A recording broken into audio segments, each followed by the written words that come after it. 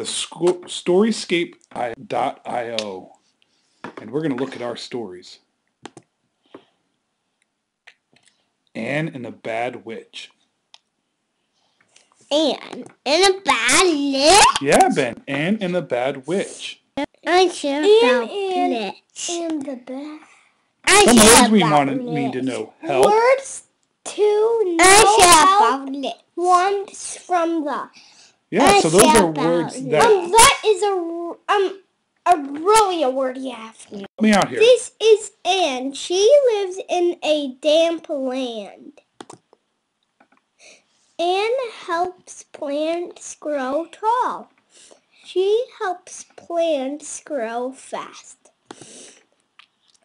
This is the bad witch. She has a plan.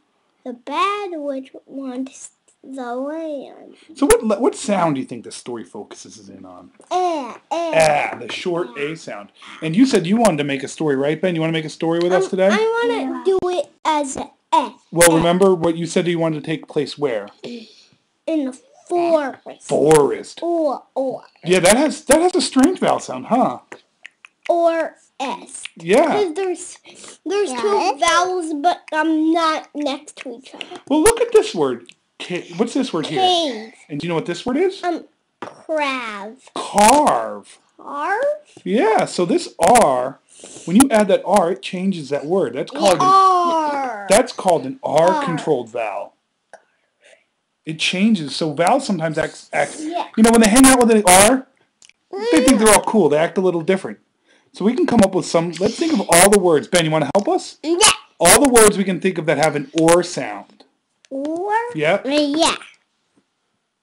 um store. Store. Yeah. No, s- or like you're Sore. or when you're when Okay. you're feeling better. you're Store. Sore. Um, snore. Snore. Anything else? What do we have? Um, Fort. Anything else? Yes.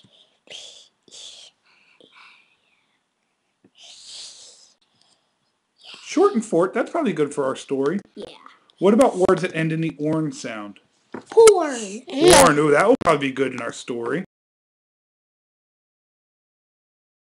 We can have it again. Okay. Uh. So now thinking about these, let's think about our story. Yes. Where did you want No. the setting to be? Where did you want the story to take place, John? Um, I said in a torn. In a forest. Or, or. Mm, that Okay. And what should the characters be? Mm, Let's well, let's go start our new story, and we can look at some of the character options we have. Is that um? Let's create a story. Um, Which which art group do you want to do? All of these guys again? The um, the farm, up, up, the up. Arctic, up, up. up. Um, no, I'm You want to do the Arctic stuff? no. yeah. Well, Ben, we'll do this Arctic one, and Ben, which one do you want to do? Do you want to do one with penguins? No, I'm gonna gonna do do it the with- person. Um, a dolphin. A dolphin. With the these whales? You want to do that? Because that has a oh oh. Well, John, you want your story to take place in a forest. Do you see any forest there? no. No. Do you I see any don't know. forest here? Um, no. Do you see any forest here? There. And Ben, look, there's a person that you can use. So we'll create with this art. I, I, oh, that one. What's it? Is he a troll? Um, mon- Monster. Okay. And Ben, who should the, who should the monster and who else is in the story? Ben, pick one more thing in the story. I'm not picking on. Okay, Okay. I'll pick one more. Um, and the monster follows the witch's order. Order. Or, Okay. order. So And the good guys will be um Anne and her, but um we'll just have Anne um the um fort, and then they try to break it.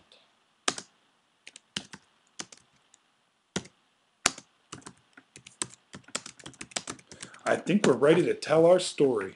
Yep. We have it planned out. So let's. What did we do Wait, first? what about That's your setting. Where's your setting? in the forest. And who are our characters?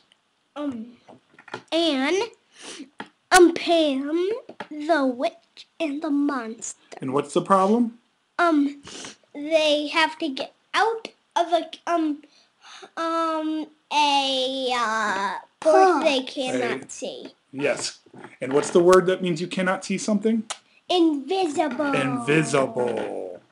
Let's go work on our story. So we're going to use a program called Storyscape Forest. to make our story. Forest. Yeah, these are all, this is all the art. The first thing you do in Storyscape, John, Scary one, so the witch and the monster can. So we'll start with the scary setting. Yeah. What in the setting makes it scary? um, the monster and the witch, and I got a good part of it. Okay. Um, so it starts out scary, but it then it ends out happy. Oh, so there's a change in the setting? Yeah, and they put it spell on the witch and the monster to make them good. And and who, Ben? Pa. Eh, eh. Yeah, you're right, Ben. Pam. And and Pam. No, no, Um, no, kill the witch. No, we're not going to use the word kill. What? Kill Tell me, Ben, who is it? Pam. Pam. And and Pam have a magic thorn. Adela. Pam. What do they do to the fort? Adela. Um, they um Adela. Pam. Yep, that's Pam. they break. It. Yeah. Girl looks great. Daddy, um, Let's see that's there's a word we not can that. Um, Fork. They use a fork. Well, we're going to use a thorn. Do they... lanes. How about do they torch the port for the next one after right after this? So now we're done, and so we can hit publish. What does that mean? That means we're going to share the story. Oh, didn't we want to say there were some important words? What's the name of our story? John? Um, and um, and Pam, and and and Pam and the witch. Look. Mom. Anne and Pam and the Witch. Two different toys. Mom. Yes? Two different toys. Um, Can I tell you something? What? Mom. My let's do important different words now. toys. Invisible. Invisible, you want to put in our important words to know? Yeah, Okay. because that is Type one we in have. red. to know. Important Like my toy. words. Now, the other thing you can do, John, with this program is you can go up here and change the text sizes. Important words. So what words do we want to know? Two. Yes. Invisible. Invisible. Is it matter to be the So person? what does that mean? Um, you cannot see that. Now to